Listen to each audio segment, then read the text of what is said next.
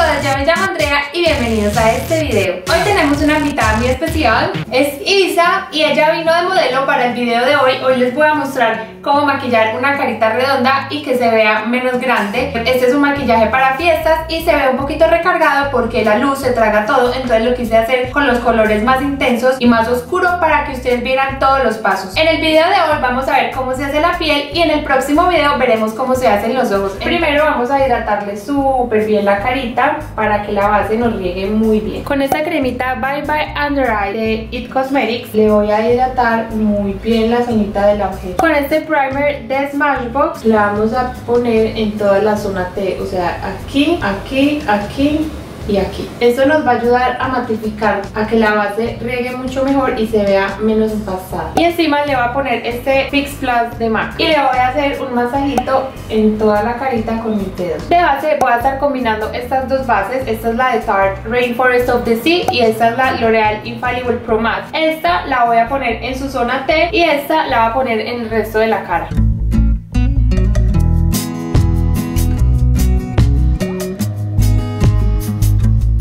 Ya que terminamos de difuminar la base, vamos a taparle las ojeritas y si tiene alguna imperfección con este corrector de Kat Von D, el Locket.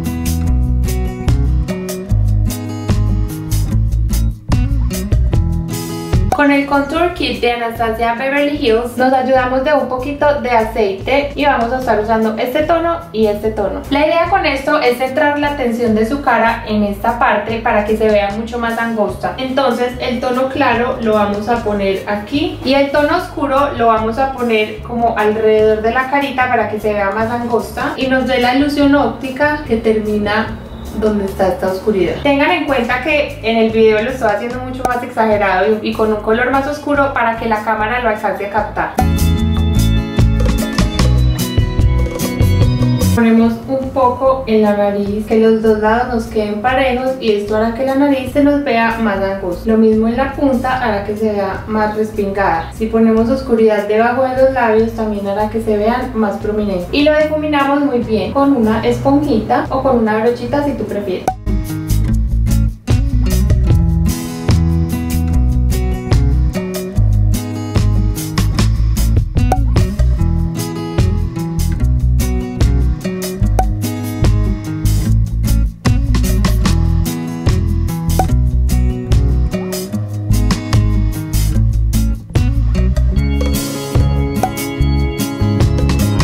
Con un polvito suelto le voy a sellar las partecitas donde pusimos el iluminador. Este es un polvo translúcido que no aporta más color. Y con una brochita dando toquecitos voy sellando el resto de la cara.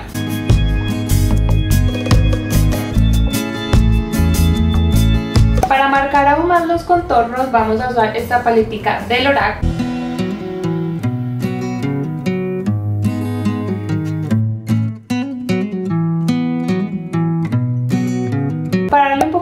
De calidez, complementar el contorno, vamos a poner este bronzer, el de Benefit. Y este lo vamos a poner como donde pusimos el contorno, pero no va a estar tan definido, sino que va a estar más difuminado por toda la carita. Y ahora pasamos a limpiar el exceso de polvo.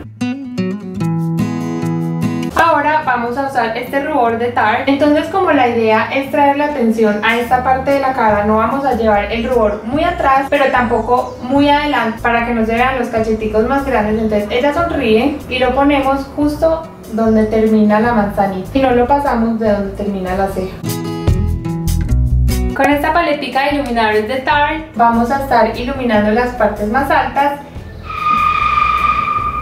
Se mataron. el igual que el rubor no lo vamos a traer muy atrás para que la luz permanezca en esta zona central de la cara.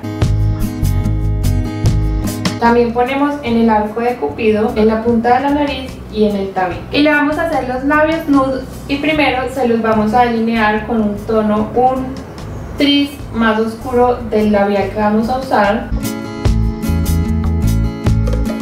Y con este labial de Clinique la vamos a rellenar. Y todo esto lo sellamos con este setting spray de NYX.